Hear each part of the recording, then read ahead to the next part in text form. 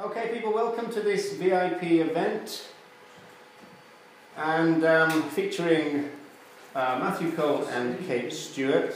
Kate is going to give us a presentation and then it's going to be followed by a Q&A. We're here to talk about their new book, Our Children and Other Animals, the cultural construction of human-animal relations in childhood. So obviously we're into sociology here. Kate is a medical sociologist working at Nottingham University in Britain and Matthew works at the Open University. Their focus is the cultural transmission of social values and they've been researching the subject of socialisation and children for a number of years. You can find them in an AR Zone podcast from September 2013 and a recent podcast that they did with me, which goes under the name of On Human Non-Human Relations or On Human uh, Relations with Other Sentient Beings. Okay, Kate, thanks very much for Yeah. doing this for us and take it away. All right. Um, you were cutting in and out a little bit there, so I'm just going to check that you can hear us all right still. Yeah. Yeah. Yeah, it's Yeah. good. Yeah, it's good, yes. Okay, we're going a bit Norman Collier here and there, so um, uh, hopefully, hopefully we sound clear enough uh, to Now- you. yeah, well, there's a, there's a cultural reference that no one besides me will get. it's flown straight over most people's heads, probably. Um, uh, anyway, thank you very much for inviting us to talk about uh, the book again. Um, I'll talk through um, some of the key things that we cover in the book, just give you um, uh, an overview of, of what we talk about and our approach to thinking about these, these different examples that we'll talk to you about uh, this evening. So the book as a whole then uh, focuses on the socialisation of the human use of other animals. So not only as resources of food, but uh, resources for food, but also as resources for clothing, sport, entertainment, scientific research, and so on and so forth so forth. Specifically, we're looking, of course, at the context of childhood, and we're specifically looking in the, at the contemporary West as well. And I suppose the key question in the work that we've been doing over the last few years is um, how is it that most of us are brought up to accept and reproduce these um, uses of other animals? Um, so um, the book then focuses on the socialisation, as I say, of, of the human use of other animals. We're uh, doing this by looking at the interconnection of dominant practices and dominant representations and how children, not only how children are important, um, uh, how animals are important in children's lives, but also how children are important in other animals' lives, uh, in their lives and particularly their deaths as well. So we do this firstly by looking at some uh, dominant practices through which children encounter other, other animals, the feeding of animals, uh, animal foods in infancy, selective exposure uh, of children to so-called pets, so-called zoo animals, and secondly, we look at an we do uh, look at an analysis of dominant representations of other animals in children's culture, in literature, film, uh, toys, games, clothing, and so on. And on this slide that you're seeing here at the moment, we've got a few examples of the kinds of things that we looked at uh, in our work for the book. Uh, we look at toys and play. You've got um, you've got the floor plan of Hamley's toy shop there. I'll come back to Hamley's in a little bit um, pets and pet clothing and the parallels between that and children's clothing as well. Um, educational initiatives such as the raising of animals by schools for slaughter and consumption. The picture that you have here is uh, of the sheep that was uh, bought and raised by a primary school called Lydd Primary School in the UK. Um, fast food tie-ins, which is where our interest in this area uh, really began. That, that was kind of what sparked off all of this. And some of you maybe have, have read our, our paper before that we wrote uh, about fast food uh, tie-ins. Um, healthy eating advice that communicates uh, that animal products are necessary in children's diets. Uh, this example that's in the middle here um, is from a government-sponsored website which teaches children about healthy eating, about how to put together a healthy, balanced, um, packed lunch. And uh, when we looked at this, we, we tried to make a vegan packed lunch on this, and it was actually possible to do it because you could have hummus as a sandwich filling uh, in your packed lunch. But uh, when you got to the end of it, this, this warning came up. I don't know if, if you can read it on the screen there. What it says at the bottom, you've not got any cheese or yogurt in your lunchbox. Remember to add some next time. So, so how things like that, how those sorts of resources reinforce the necessity for animal products uh, in the diet. And then also we looked at um, the, the little screen grab that's down the, the bottom there, the structuring of the appropriate use of different kinds of dead non-human animals for use in school uh, science in educational guidelines, which is what that's um, a, a grab of there. So as I say, by doing this, we're arguing not only for the sociological importance of other animals in children's lives, animals are everywhere, but to a very great extent hidden in plain sight from the perspective of mainstream studies of childhood, um, but also, as I say, the importance of children's socialisation in other animals' lives and deaths. And on that first point, that hidden in plain sight point, I don't know if any of you have seen today uh, the BMJ paper that seems to have been quite popular. BMJ always, British Medical Journal, always around about Christmas time, publishes some kind of quirky research, some sort of light-hearted stuff. Uh, and, and one today has been about children's films and the death toll, basically, in children's animated films as compared to adult films. Goes through the entire paper, barely mentioning that most of these deaths um, that occur in these are of representations of non-human animals. But that's just as an aside, if any of you have seen that uh, story today. So in this uh, book then, uh, I'll talk you through how we went about this analysis that we did. We uh, applied this conceptual map of practices and representations, which again some of you may have seen uh, before or may have seen an earlier version of that we published with um, before. So these are the practices and representations that construct the meanings that we attach to other animals and our experiences of them uh, in our culture. And these practices and representations therefore also profoundly shape the life and death experiences of those animals, depending on how we as humans position them according to these concepts on this map.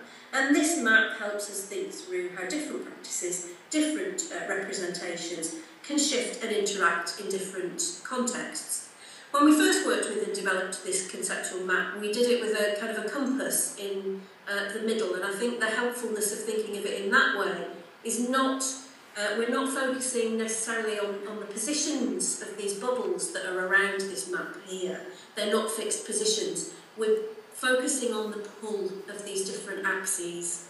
Um, and in terms of what those axes uh, represent here, along that equatorial line there, we're referring to the extent to which we construct other animals uh, as exploitable objects or as an autonomous subject or agent, perhaps. That uh, other line, the other axis there, the meridian, the extent to which different types of animals are sensible, that is, visible, audible, etc., uh, in our culture. Um, in earlier versions of this, we talked about visibility and non-visibility, but we've, we've opened that out now because it isn't just about uh, whether we hear or not, uh, whether we see or not, it's about whether we also hear, whether we smell. Um, all of our senses are involved in our awareness um, uh, of, of, of what, how other animals are being used and uh, represented. So we talk about sensibility and non-sensibility uh, now. And the basic theme here is that we tend to encourage attention and affection on those who need it the least. The relatively protected companion animals or cultural representations uh, of animals or the body parts of dead animals and not those who, in, who need it the most, those who are exploited or exterminated in, in like, if you like, the southeasterly zone of this uh, map. Uh, and to illustrate this um, with an example, it comes up with the next one.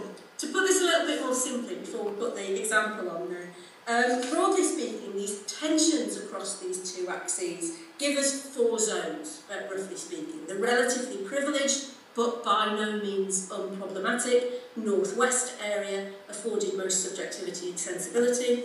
The, the southwest region, occupied by comparatively free living uh, or wild animals. The northeasterly zone of products uh, of our dominant practices.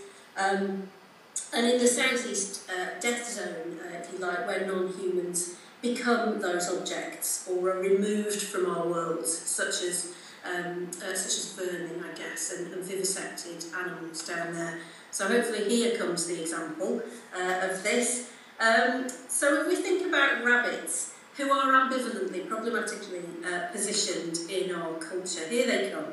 Uh, this shows that these meanings and experiences are constructed, um, they're artificial, they're not natural consequences of anything to do with either um, with, with the rabbits. The rabbits themselves don't identify themselves in, in these terms at all. They're all to do with how we use and think about uh, rabbits according to these different axes. So at the core of a lot of the work that we've been doing is this conceptually in these different elements. We also, in the book, uh, discuss the ways in which the experiences of children and non-humans were intertwined with the social and spatial reorganisation that accompanied urbanisation and industrialisation. So the physical and conceptual movement of both uh, children and non-human animals, uh, and both of these linked to concerns uh, that were couched as moral or public health uh, concerns. So here the importance of place and space, as well as how we represent and think about uh, other animals and, chil uh, and children, where we place them as well, where the appropriate place uh, for both children and for non-human animals are, and for the appropriate places for the interactions of those two groups as well. So these pictures that you see along the bottom here, uh, during that period of rapid urbanisation and industrialisation, the removal of children from the so-called inappropriate workspace to the appropriate school space, and similarly the removal of um, uh, non-human animals from urban um, uh, um, livestock markets, uh, shambles, uh, places of slaughter in the city centre, to uh, appropriate places for non seen, uh, non-human animals to be seen and encountered, such as uh, city zoos, which flourished all around about the same um, time. And what we argue in the book is that these processes and how we shifted conceptually and, spatially um, what we saw as appropriate for children and what we saw as appropriate in terms of non-human animals are entirely uh, interlinked, are um, they're entwined. Uh, and this quote from an article written, uh, I think for Strand magazine by Charles Dickens, um, uh, we think kind of illustrates this uh, very much. You see, uh, you shall see the little children inured to the sights of brutality from their birth, trotting along the alleys, mingled with troops of horribly busy pigs, up to their ankles in blood. But it makes the young rascals hardy. Into the imperfect sewers of this overgrown city, you shall have the immense mass of corruption engendered by these practices, lazily thrown out of sight, to rise in poisonous gases into your house at night when your sleeping children will most readily absorb them. Uh, and very much when we uh, looked at this, when we found this little extract here, this notion of poisonous gases uh, being readily absorbed by your children, certainly struck a chord in terms of uh, perhaps how we think some of these representations and practices get to work on children uh, in contemporary society. So we set that scene really with, with both our, our kind of theoretical approach, that conceptual map, and this historical perspective. We set the scene in the first part of this, uh, in the first part of our book, um, uh, covering those issues. In the second, in the middle part of the book, um, we have a look at different socialisation uh, sites, and I'm going to talk you through some of the examples of some of the material we looked at and, um, uh, from each of these four sites. So we looked at uh, family practices, so things to do with clothing and food.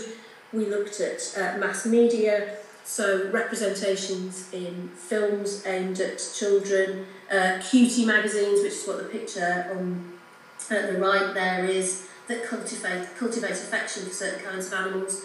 Educa formal educational resources, um, I'm going to uh, come and talk to this uh, educational resource farmland, which is depicted at the bottom uh, in a second. I'll talk about that a little bit more. And we also looked at um, digital media as well. So games like the game, the farming games that you get uh, on Facebook, those uh, those sorts of things. So the first of these sites then is the family and the practices that are most closely associated with uh, the family. Um, and as I mentioned earlier on, uh, we had a look at uh, Hamleys. This is the floor plan of Hamleys Toy Shop uh, in London. Um, and this illustrated a lot of these things uh, really well. We talk, talk about Hamleys for quite a while in the book. Um, excuse me. So part of the achievement uh, of the socialisation process is to associate effective attention towards other animals with human infancy. And as children age, affectivity is progressively uh, attenuated and gives way to the inculcation of instrumental rational action.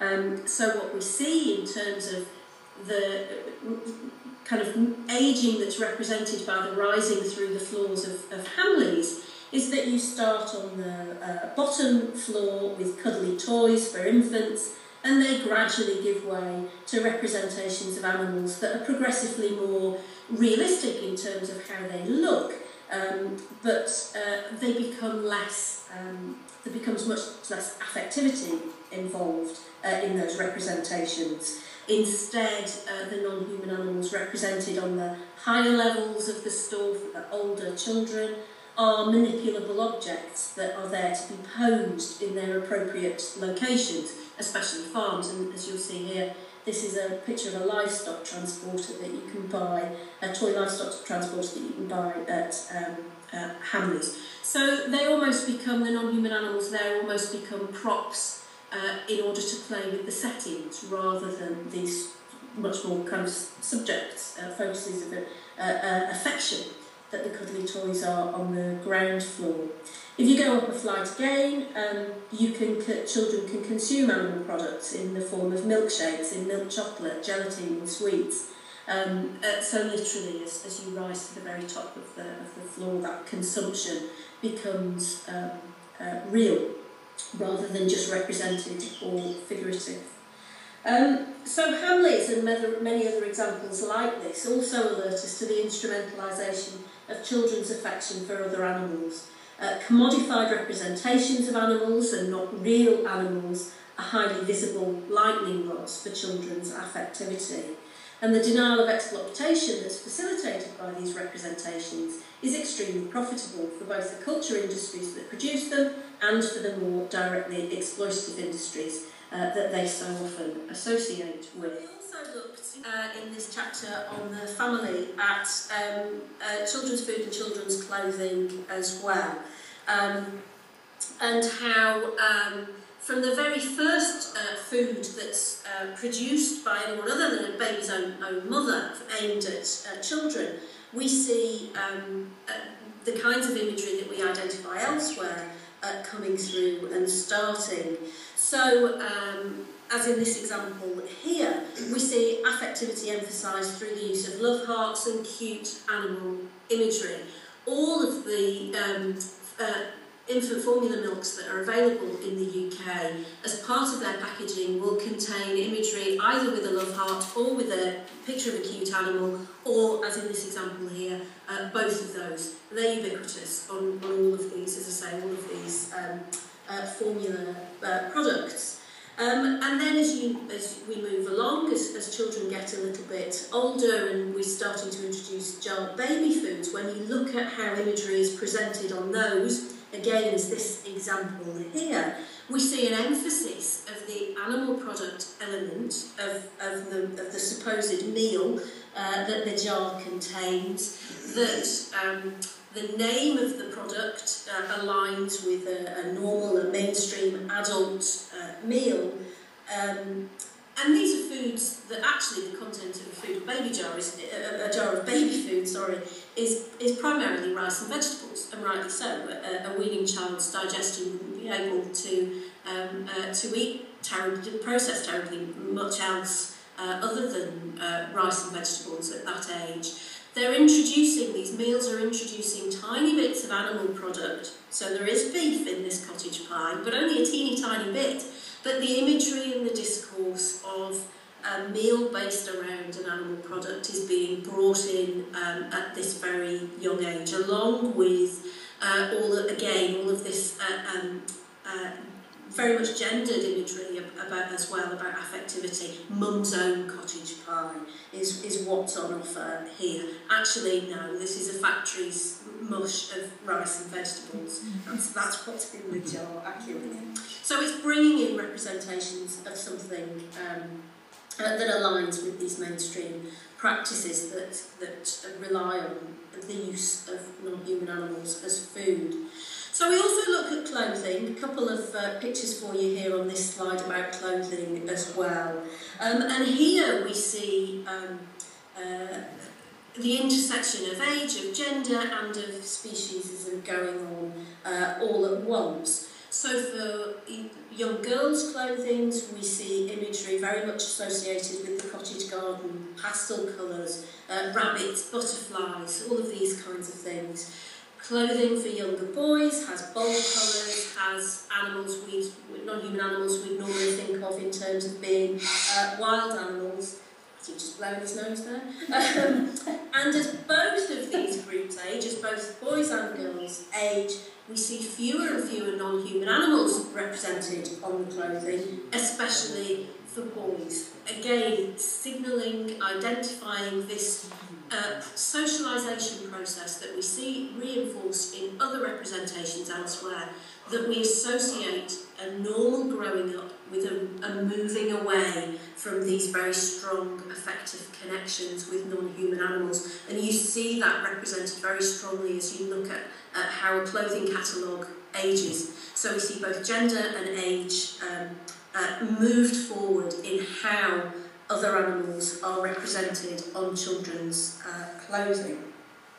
So taken together um, then, uh, our analysis of the family as a site of socialisation focuses on the initial cultivation of the value of expressing affection for others through pets, through soft toys, all the while inculcating practices that depend on violence, on eating animals. Um, so where we're seeing representations and practices very much above that equatorial line there, but what we're also identifying is a spatial reorganisation that, that uh, we traced back through that historical process, as I said. So the domestic space is constructed as a secure refuge from non-human animal threats that dispute the human privilege of positioning other animals. So, for example, um, Matthew put this slide together and went a bit wild on the PowerPoint animation. So Fox's slide, flying all over again. It is magnificent. He's looking a bit aghast. I think it's a magnificent slide. But there we go.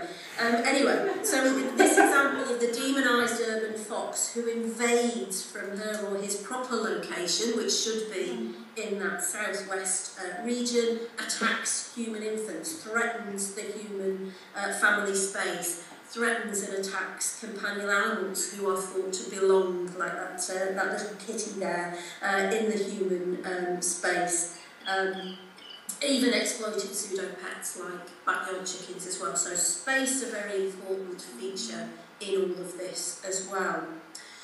Second area that we look at, um, mass media, killing and uh, cutification. And as I mentioned earlier, this is the area really where our, our academic interest in this uh, first uh, started to, to develop and we first started to work on. So we look at films and cutie magazines in the chapter in the book uh, specifically. Um, the Lion King uh, isn't, we don't talk about so much in the book, but I'm going to mention it here because it's probably uh, one of the key original inspirations, I suppose, uh, for this book. And if Matthew wasn't feeling so grotty, he would now probably uh, hold forth for about 10 minutes on all the things he hated. About the Lion King. Do you want to talk about the Lion King, Matthew? Okay, and it'll probably make you feel better. Yeah, I can't, I can't resist this one.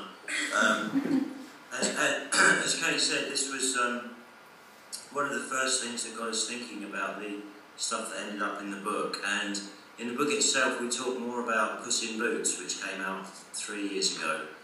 but a lot of the themes um, came from our um, us thinking about the Lion King. So I saw it at the cinema when it came out uh, 20 years ago. About reminiscing um, nostalgically about when I saw the Lion King in cinema and how how um, how much it affected me at that point as, as something um, you know uh, something ideological um, was going on there. And this, so this is before I might have just started studying sociology at that point, but I, you know, I wasn't a sociologist or anything.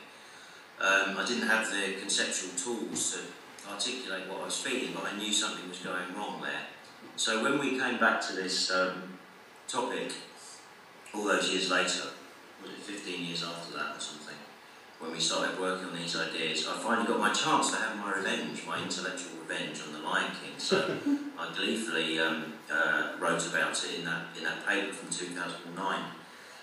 so some of the things that we thought were going wrong with it, um, Elton John is certainly responsible. Well, he didn't write lyrics, doesn't he? But anyway, um, he, he uh, sang the song "The Circle of Life," and the whole idea of the Circle of Life, I thought, was was just a justification for eating meat, really.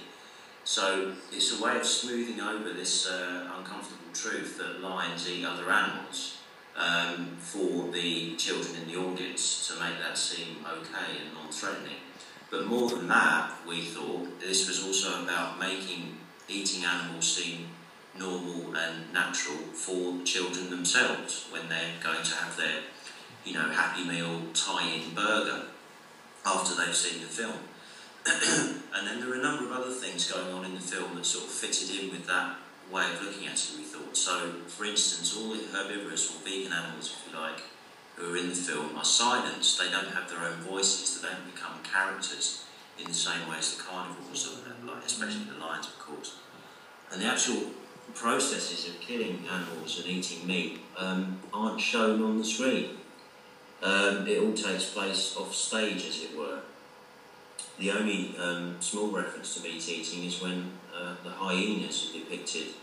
Well, again, this happens off stage, out of sight, but it's discussed that they're going to be eating meat. um, and so there's this process of identification between the audience and the carnivorous animals that gets um, put in place within the film. So the vegan animals are, you know, un- uninteresting. They're presented as a mass, so you get a stampede of wildebeest, for example. Um, so the outcome is that meat eating is seen as natural and just and normal and unproblematic and all that kind of thing. So and we think this goes on in, um, well, certainly any of the, the Disney type films that we've watched that have animal characters, and of course there is a, a huge amount of them. So as I say, in the book itself, we look we look at Puss in Boots in a similar light and um, and critique that in a lot of detail. It's like you're returning to your sick bank now. Do you want to talk about animal cutie magazines as well? Well, okay. Guilt tripping me. But, um, excuse me. So, so this in this chapter where we focus on mass media, sort of half of it is looking at the uh, Puss in Boots in particular and, and, films in general, and the other half is looking at this um, genre of magazines that we call cutie magazines. I don't know if you have something similar in Ireland, or maybe even these titles might be available. I don't know, but in the UK there are uh, four of them that we found that are very, very similar. And they're called All About Animals, Animals and You, Animal Cuties, and Animal Friends. and they're all targeted at um, pre-teenage girls, very, very firmly not targeted at boys from the, um, excuse me, imagery and so forth. And they all share a, a, number of things in common, which we've tried to sum up in these bullet points on the slide. So there's a lot of anthropomorphism, so a lot of the animals have kind of speech bubbles and they're saying things um, to the reader. There's a lot of infantilism. Uh, by that we mean uh, the animals, nearly all the animals in the magazines are baby animals, infant animals. And there are these common motifs of sugar and hearts and flowers, this sort of girly, stereotypically girly um, imagery. So what we're arguing is that, taken as a whole, these magazines reinforce this idea of cuteness, both through representations and also through practices. Um, and to illustrate that, we've got a few quotes from some of the magazines here. So uh, there's one feature that says, who wouldn't want one of these super cuties as a pet? They're gorgeous, so that goes next to some photos of some um, uh, infant animals. so it's inviting the, the girl readers to you know, participate in that practice of pet keeping. And then secondly, draw a cute picture or send in photos of your gorgeous pets. So inviting um, girls to participate in, in transforming other animals into representations, cute representations. And then finally, oh, this cutie kitten wants someone to stick its tummy.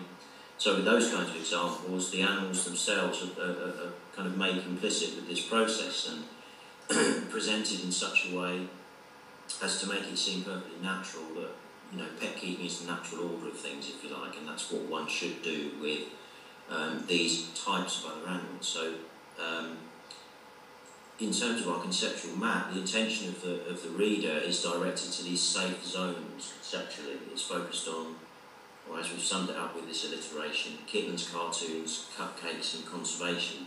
Um, so you can see it. It's do to Yeah, click click it Click again. so you can see that being summed up on this slide here.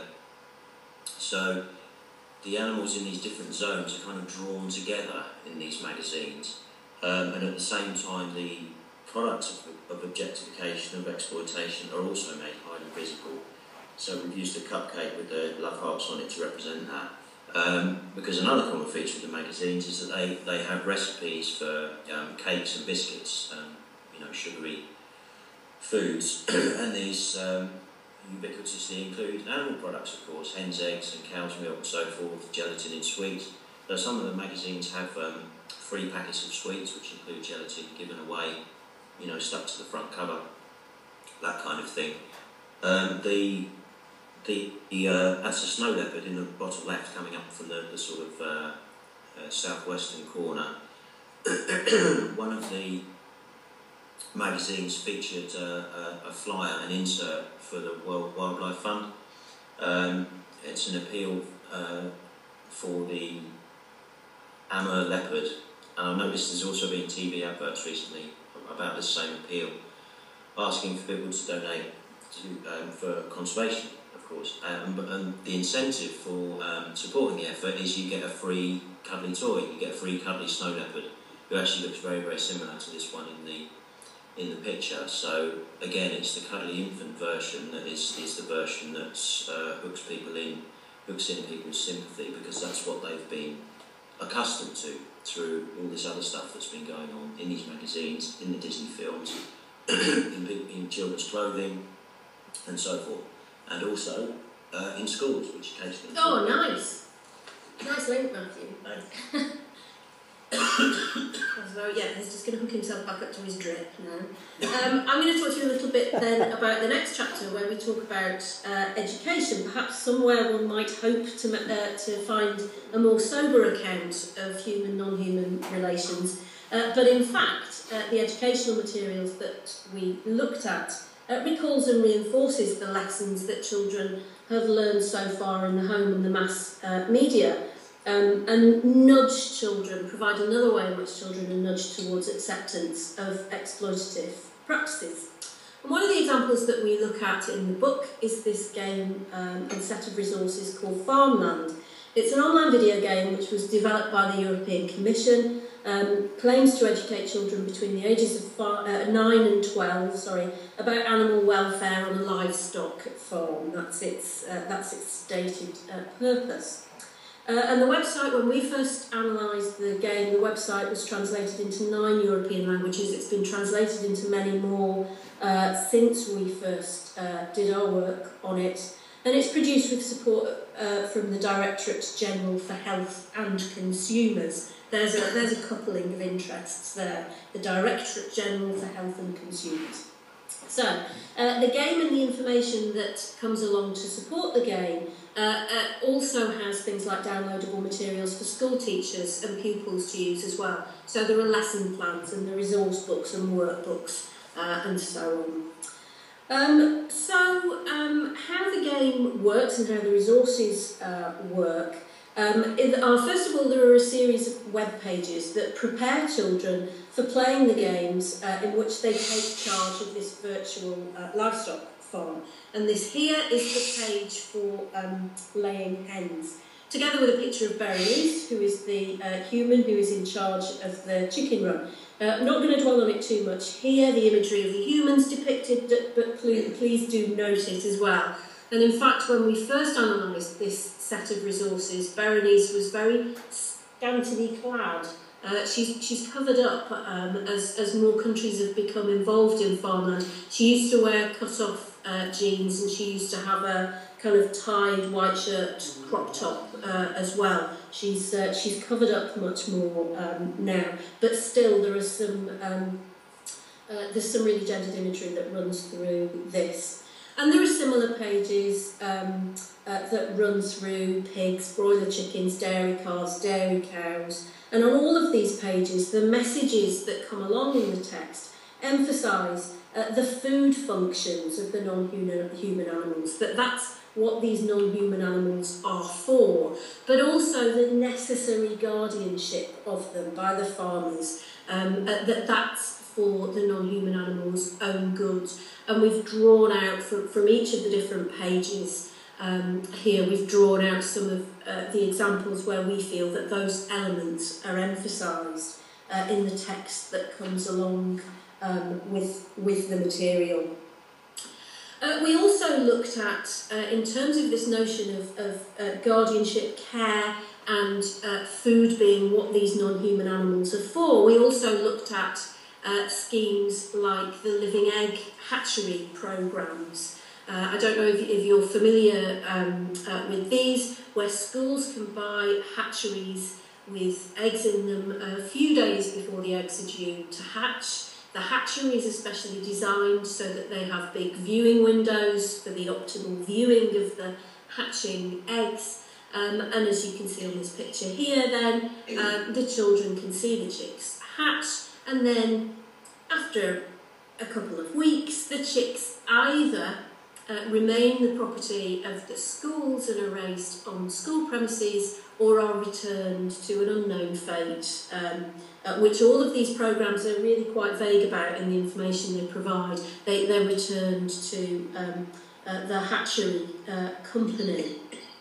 And also, as I showed you the picture of uh, earlier, uh, these kind of um, care and kill school programmes where um, a, a non-human animal is, is raised on school premises um, and then sent for slaughter. And in, in, uh, often, uh, in, in some of the, many of the examples that we looked at, the products are then raffled at the school summer fete.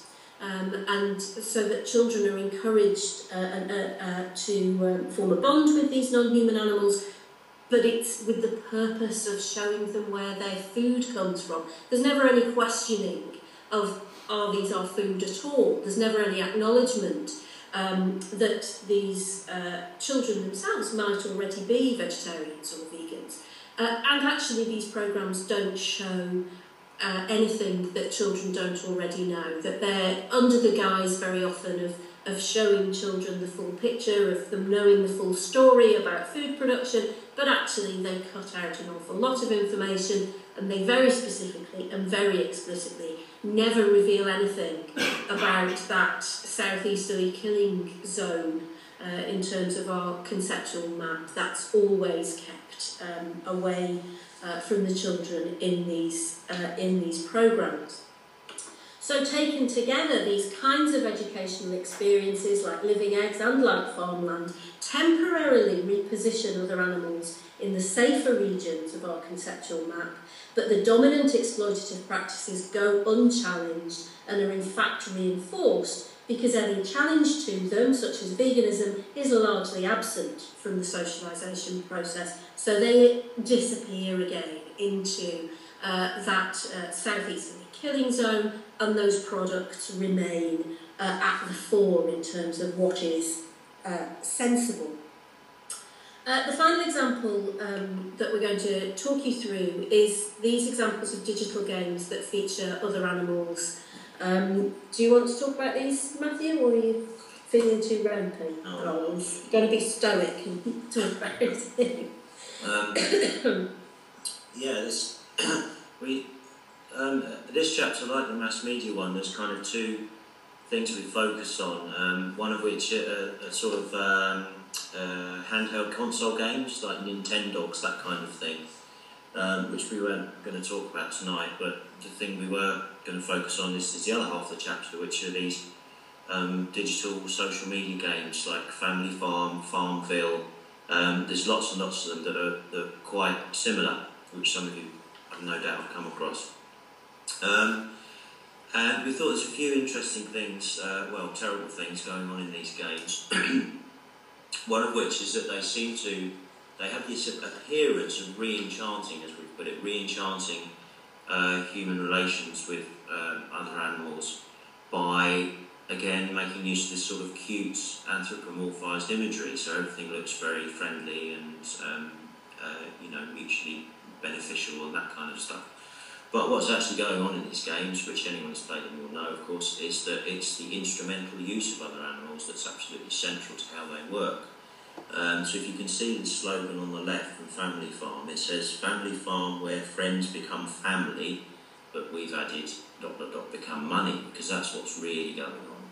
It's all about learning how to profit from other animals. So just some examples of how that happens. So these are screen grabs from uh, Farmville 2. um, and all of these games, uh, it's not just these farming games, it's now a very common model in the gaming industry, is that games are free to access, to download or to play online, but then they depend on um, people using real world money to purchase in-game rewards and, and um, you know, things that give you access to higher levels and, and all that kind of thing. So that's how Farmville 2 works as well. So in this top left we have this example, uh, more hungry mouths to feed, your herd is, is lovable, so that kind of cuteness comes through, but pricey. So with money you make from milk you can afford to buy more animals, so it's a, you know, a very um, transparent celebration of the capitalist uh, commodification of other animals. Reinvestment in business means exploiting more animals. And in the second example, um, we get a, an intertextual uh, link back to The Lion King, the, the cycle of farm life, which is very simple, it's the circle of life, of course. Crops and animals form a virtuous cycle that ends in coins. Let's go. So this is virtuous in the world of Farmville 2. You know, this is this is virtuous action, exploiting animals. And then this last example here, down at the bottom, we have a an absolutely naked celebration of capitalism. Capitalism is king, they say, as it says at the end there. um, and another key feature of these games is that uh, other animals, even though they're, they're in this cute style, they are basically reduced to machines. Um, so these screen grabs come from another uh, one of these games called Family Farm. Excuse me. Um, and you can, oh, I hope you can see on your screen that a lot of these animals have got these sort of rictus grins on their faces. Um, so they're shown as being perfectly content in their, in their positions, but they absolutely stay in their positions.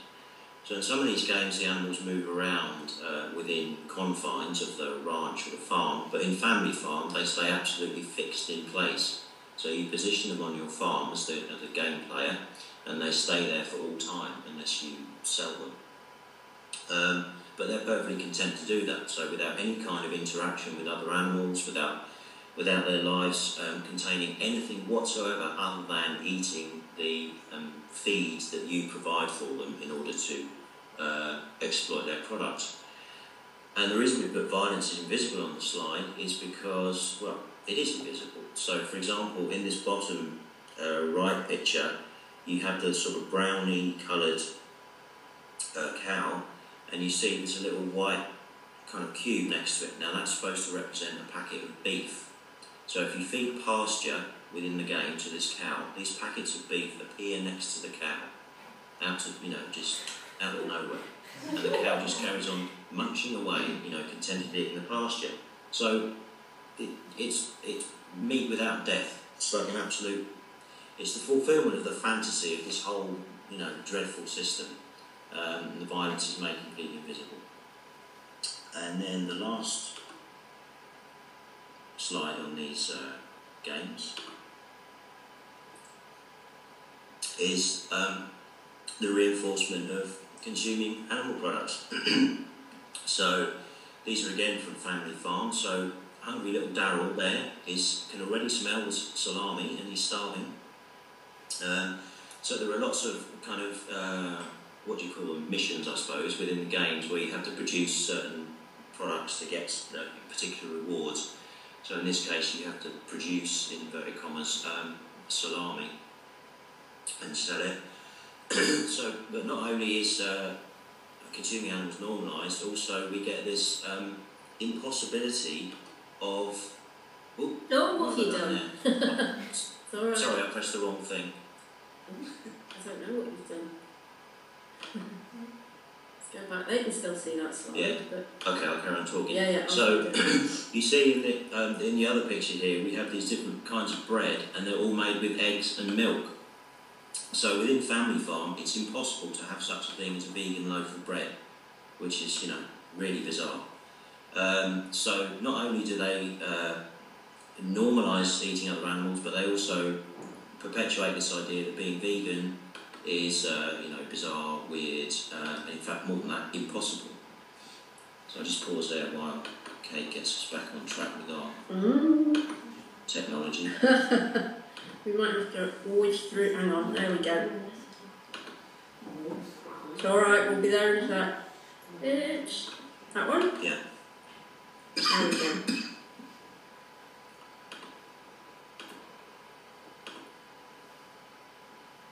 There we go. thanks. Alright. Um, so yeah, to sum up what's going on here, we, we have um, the by transforming exploited animals into these cute representations, they, the focus is again elevated above this uh, equatorial line, and also the products of exploitation themselves become highly visible because by producing these commodities within the games, that's that's how you make profit, and that's how you expand your ranch and so forth, and reinvest in the business. Right? Um, so in the final section of the book, so those, those examples come from that middle second section. In the third and final section of the book, we look at the destabilisation of the socialisation of these dominant um, human, non-human relations. And we look at vegan practices and representations. So these are practices and representations that aim for a reconstruction of children's relations with other animals uh, and include social support and advice for children um, and their carers. Uh, they include in educational initiatives, supporting alternative uh, mealtime practices and um, vegan uh, themed children's literature. And the latter in particular is, is a big focus of our analysis in this part of the book. So in different ways, uh, books like this, and there's a couple of examples on this slide here, uh, Vegan is Love and Stephen uh, the Vegan, which you uh, may be familiar with, probably at least uh, one of uh, in one of those. So books like these then, uh, in different ways, help children to resist the mainstream socialisation process by treating other animals as sentient, as having rich emotional lives, as having social and family bonds, um, or as being wonderful, mysterious, and beautiful fellow earthlings. Um, and at the same time, they dethrone humans from their position of privilege in that northwest section of our map, if you like. They encourage humility, compassion, and empathy uh, among the readers. And the power of this work is perhaps summed up uh, in the media controversy caused by the publication of Ruby Roth's Vegan is Love uh, book that's on the slide there. Um, and uh, I think mentioned before the, the um, article on the Daily, Daily Mail that in horror proclaimed that it could easily, a book like this could easily scare a young child into eating uh, vegan.